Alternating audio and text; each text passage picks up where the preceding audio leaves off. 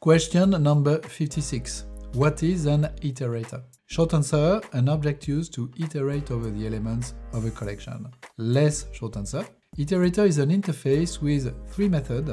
hasNext, that tells you if there are more objects to iterate over. You should call this method first. Then, if it returns true, you can call next to get the next object and move the iterator one step. It also has a remove method that can throw an unsupported operation exception. You need that if your collection is immutable. Most of the time, you use iterators for collections, but iterators can actually be created without them. For instance, you can create a range iterator that can iterate over a range of integers. One last word, the iterator pattern is actually a pattern from the Gang of Four book. Did I already mention that this book is a must read?